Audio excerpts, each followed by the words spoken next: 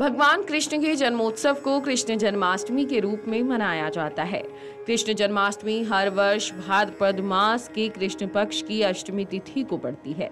इस वर्ष कृष्ण जन्माष्टमी 6 सितंबर के दिन बुधवार को गृहस्थ जीवन वाले जातक मनाएँगे। वहीं वैष्णव संप्रदाय के लोग 7 सितंबर को जन्माष्टमी मनाएँगे।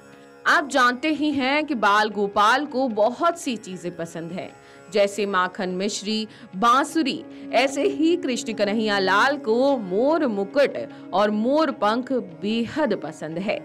यही कारण है कि वे हमेशा अपने मुकुट में मोर पंख लगाए रहते हैं। कृष्ण जन्माष्टमी पे मोर पंख से जुड़े हुए हम आपको कुछ उपाय बताएँगे, जिससे जीवन की कई समस्याओं को दूर किया जा सकता है। जी हाँ कृष्ण जन्माष्टमी पे आप ये उपाय करेंगे तो निश्चित ही आपके जीवन में खुशहाली आएगी। जैसे धन वृद्धि के कुछ उपाय हैं। ज्योतिष शास्त्र के अनुसार, यदि आप लगातार आर्थिक संकट से घिरे हुए हैं और इसे छुटकारा पाना चाहते हैं तो पाँच मोर पंख लें और जन्माष्टमी के दिन भगवान कृष्ण के साथ उनकी भी पूजा करें। अब इन मोर पंखों को 21 दिन तक उसी स्थान पर रखे रहें। इक्कीसवें दिन इन्हें तिजोरी या धन स्थान पर रख दें। ऐसा करने से घर में बरकत बनी रहती है और धन लाभ के नए नए रास्ते खुल जाते हैं। वास्तु दोष का उपाय। वास्तुशास्त्र के अनुसार यदि आपके घर में किसी तरह का दोष लगा हुआ है तो जन्माष्टमी के दिन अपने घर पर मोर पंख ज़रूर लेकर जाएँ।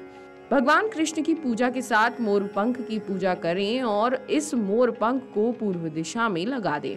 इस उपाय से आपके घर में लगातार वास्तु दोष खत्म होंगे पति पत्नी के झगड़े। जी हाँ ज्योतिष शास्त्र के अनुसार यदि पति पत्नी के बीच हमेशा तनाव बना रहता है और बिना कारण झगड़े होते हैं तो जन्माष्टमी के दिन बेडरूम में मोर पंख लेकर पूर्व या उत्तर दिशा की दीवार पर लगा दें।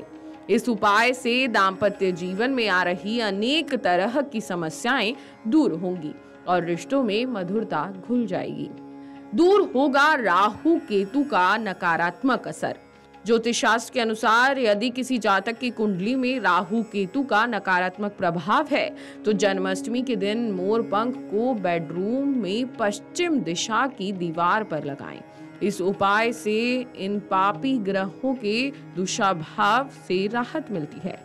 नकारात्मक ऊर्जा दूर होती है और आपको धन लाभ होता है।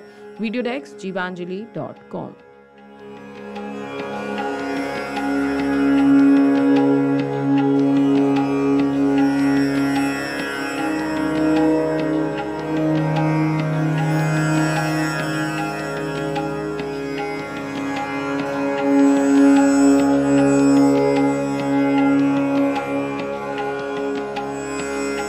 अगर आपको हमारा ये वीडियो पसंद आया हो तो हमारे चैनल जीवांजलि को सब्सक्राइब करें।